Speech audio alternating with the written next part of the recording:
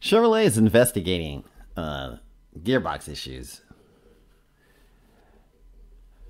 And an NHTSA has been informed that National Highway Traffic Safety Administration, that is. Boy, oh boy, does that sound good, regardless of the gearbox issues. Now, General Motors issued a service update to sort some problems regarding their transmission control module, and that's for the 2020 and the 2021 C8 Corvette.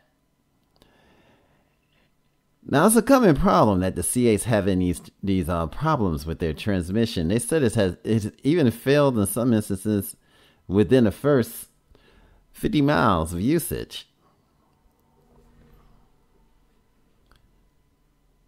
Even if you ran it in the way you're supposed to.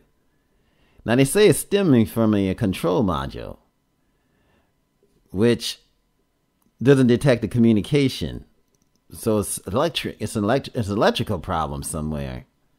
So there's something wrong with the communication codes, and it has to be either clear and switched off, which makes it impossible to um to track to see what's exactly wrong with it.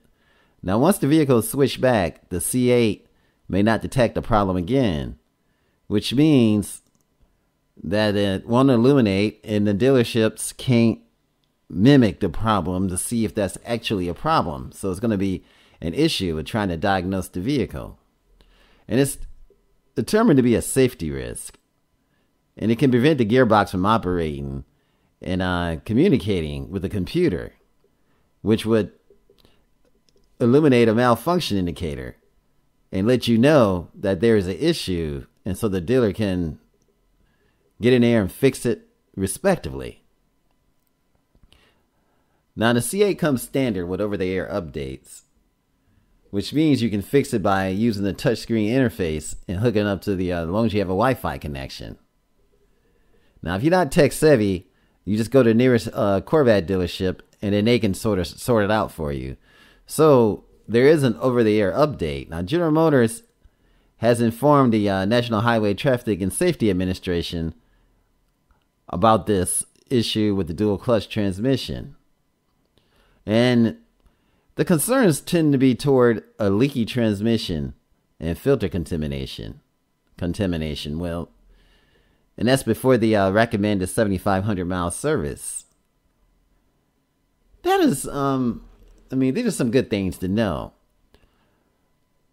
Now, problems could be caused by debris on the park position center, sensor magnet, which leads to incorrect um, position, and that gets sent to the transmission control unit. And therefore, an, an entire transmission replacement could be required in, in some severe cases there's always been problems with transmission with vehicles. I remember back in the day when I used to have my Volkswagen R R32.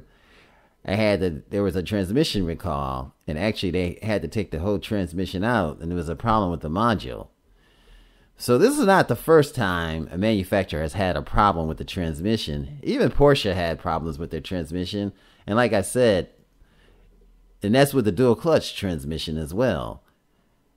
So it's no big deal and it's sort of expected, but it's good that that uh, General Motors is is going out the way to fix it and to make it known to the National Highway and Traffic and Safety Administration before a serious incident happened, which is a good thing.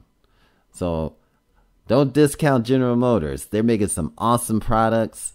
They got this new Z06. I mean, the future is bright for General Motors. But if you got this issue, you know, look into it. I mean, Chevy is investigating it. Work with your dealership, um, get it fixed. And boy, oh boy, I tell you, if my money's right, I'm still gonna get a Z06. I love this car. The Chevrolet Corvette is awesome. And yes, and Chevrolet is investigating the gearbox issues. It's A Automotive Reviews. Thanks for watching. Remember, like, share, and subscribe, and have a fantastic day. This A Automotive Reviews. Thanks for watching, sharing, and subscribing. And have an awesome and fantastic day. Much love. And again, thanks for coming by.